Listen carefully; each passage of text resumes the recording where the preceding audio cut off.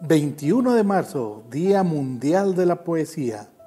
La poesía es una composición literaria que se concibe como expresión artística de la belleza por medio de la palabra, en especial aquella que está sujeta a la medida y cadencia del verso. La poesía es uno de los géneros literarios más antiguos que se han desarrollado en el hombre, encontrándose ya los primeros ejemplos en las culturas de la antigüedad. La poesía es un género literario en donde la inspiración, las metáforas, el orden de las ideas que se desean expresar es un verdadero reto artístico y por medio de la palabra escrita en verso y prosa buscan un sentimiento estético.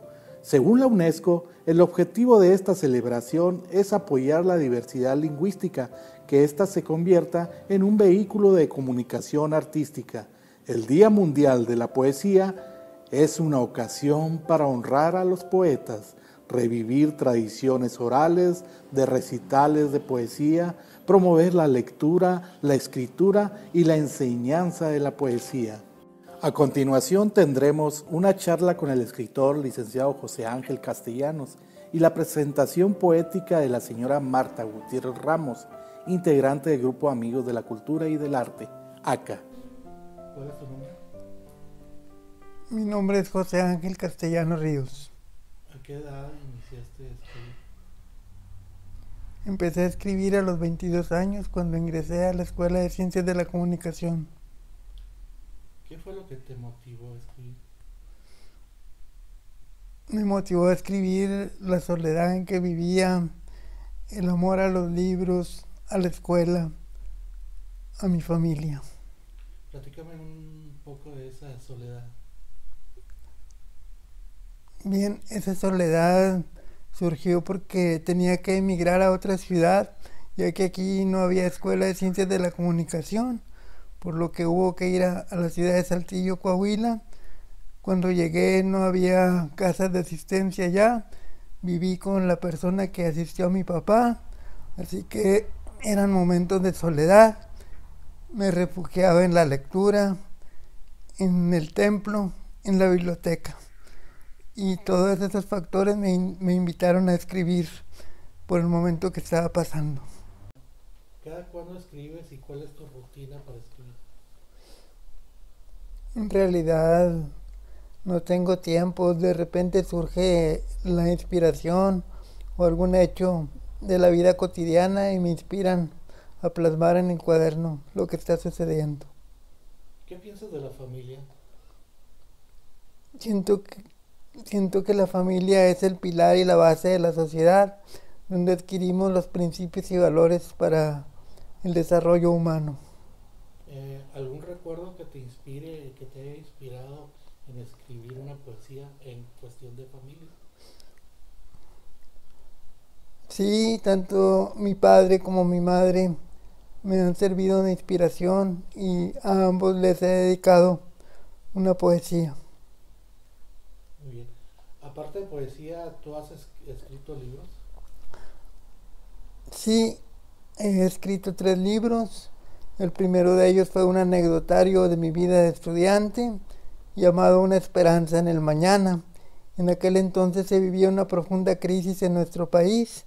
Sin embargo, yo he siempre sido una persona positiva y pensaba que de esa crisis íbamos a salir adelante. Por eso es que se llamaba Una esperanza en el mañana. Posteriormente, al salir de la biblioteca Pape, mi centro de trabajo, escribí mis más bellos escritos para ti, que es un compendio de poesías.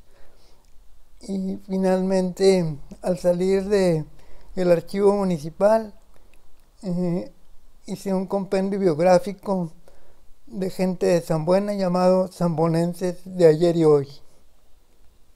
Eh, tu colaboración periódico también fue importante. Platícame un poquito de esa experiencia. Sí, esa experiencia fue muy bonita ya que en aquel entonces era el día del médico, mi papá era químico y me dijo, hijo, yo quisiera que escribieras algo para los doctores en el periódico que sirviera de mensaje por parte del laboratorio para un agradecimiento. Lo llevamos al periódico Zócalo y me dijo la señora Irma Loera, este escrito está muy bonito. ¿No quisieras colaborar de manera permanente en el Zócalo?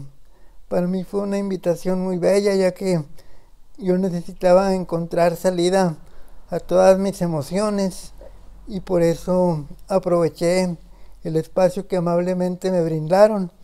La columna de un servidor llevaba por nombre Rincón Poético y a cada uno de mis escritos les ponía al final la frase ¿qué has hecho hoy para ser mejor que ayer?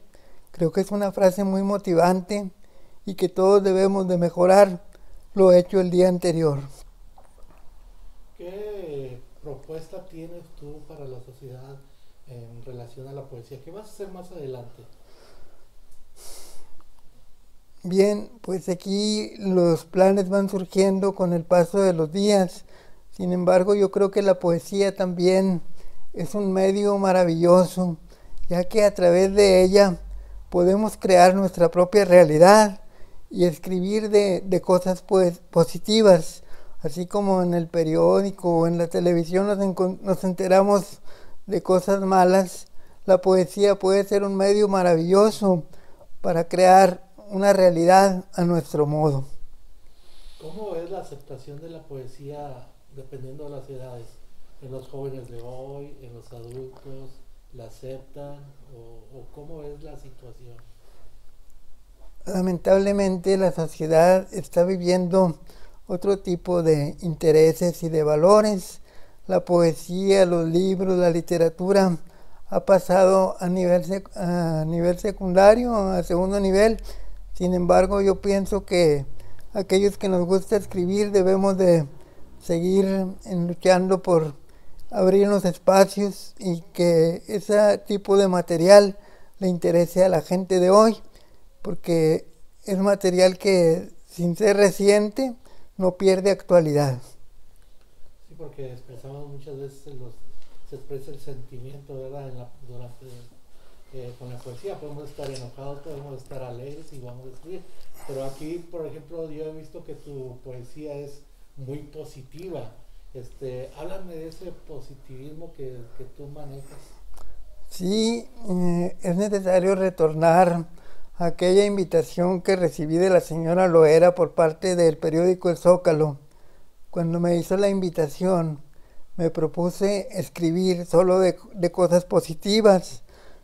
Caminaba mucho en la calle y me daba cuenta que la gente ya estaba cansada de las malas noticias, que mataron a un cristiano y que a otro en una riña le quebraron las costillas, que subieron ya de precio el la leche, el huevo, y las tortillas. Dije, no, no puede ser tanta mortificación para la gente. Tengo que escribir de cosas que le hagan bien, que le hagan sentirse mejor. Por eso es que decidí escribir solo de, cosas positivas. En esa poesía, eh, poesías que tú escribes, hablas del amor, ya sé que hay muchos temas, ¿verdad? Pero también algo muy importante que es la amistad, ¿verdad? Así es, yo creo que la amistad va muy de la mano con el amor se complementan, se complementan. Un amigo es un tesoro, el amor también lo es. Si no tenemos amor, pues no somos nada. Y si no lo damos, pues también nos volvemos egoístas. Entonces creo que el amor y la amistad son complementos y cosas muy bellas en la vida. Eh, ¿Tu pueblo? Eh, ¿Has escrito hacia a tu pueblo? Sí, también en mi libro de poesías escrito acerca de Zambuena. De hecho, mis más bellos escritos para ti eh, está incluida mi poesía de Zambuena. Eh, ¿Qué mensaje le das a, todo el pueblo, o sea, a la gente que te está viendo?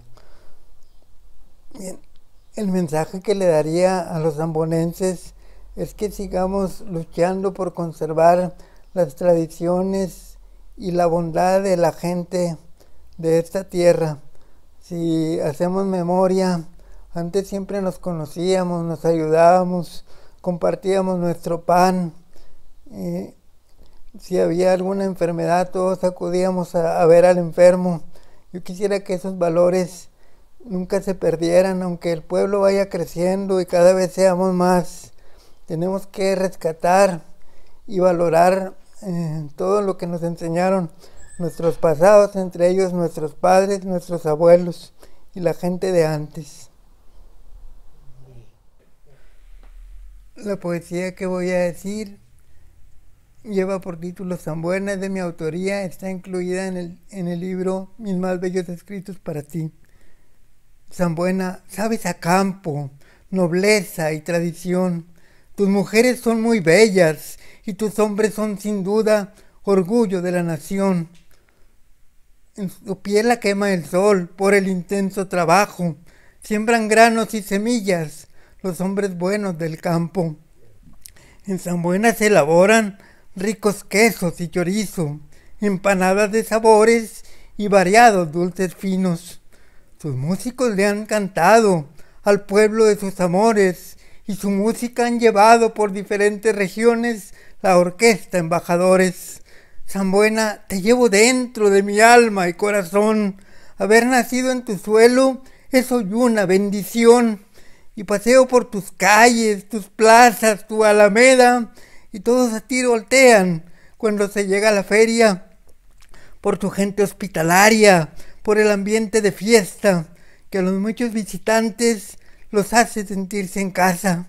El que está cerca te goza, el que está lejos te extraña. San buena de mis amores, San buena de mis recuerdos, en tu tierra encuentro todo, verdes campos, lindas flores, en cuyos atardeceres tu campiña de colores permite recrear la vista y enamorar corazones. Voy a aprovechar esta oportunidad que amablemente me dan mis amigos de la Casa de la Cultura para hacer un pequeño homenaje al ser que me dio vida, que ahorita ya está en el mejor lugar, junto a Dios, a mi madre. Madrecita, en tu día yo te quiero regalar algo que no es muy valioso, pero sí muy especial. Estos versos con cariño que escritos para ti están. Recíbelos, madre mía, recíbelos sin dudar, que tus hijos que te aman, orgullosos de ti están.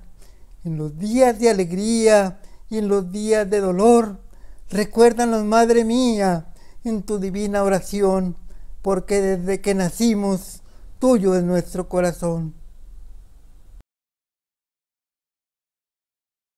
La felicidad de Manuel Acuña. Un cielo azul de estrellas brillando en la inmensidad, un pájaro enamorado cantando en el florestal. Por ambiente los aromas del jardín y el azar, junto a nosotros el agua brotando del manantial. Nuestros corazones cerca, nuestros labios mucho más tú levantándote al cielo y yo siguiéndote allá. Ese es el amor, mi vida. Esa es la felicidad. Cruza con las mismas alas los mundos de lo ideal, apurar todos los goces y todo el bien apurar, de los sueños y la dicha, volver a la realidad despertando entre las flores de un césped primaveral, los dos mirándonos mucho, los dos besándonos más. Ese es el amor, mi vida, esa es la felicidad. Sé tú,